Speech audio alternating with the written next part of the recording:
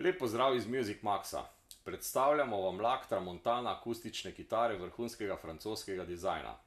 Serije sedemdeset, osemdeset in devetdeset so kitare od vstopnega do srednjega razreda. T-sedemdeset se uvršča v sam vrh v vstopnem razredu akustičnih kitar z open pore premazom in osnovno ploščo iz masivne smreke, ki omogoča globok in bogat zvok. T-osemdeset je lakirana v visokem sijaju in ima osnovno ploščo iz masivne smreke ter stranice in dno iz mahagonija. T-devetdeset je narejena iz tropske kaje, poznane tudi kot afriški mahagoni. Francoski satenast premaz in osnovna plošča iz masivne kaje omogočata globok zvok, ki bo bližje tradicionalno usmerjenim kitaristom ne glede na stil igranja, ubiranje s prsti, ritmična spremljava ali pa solo pasaže.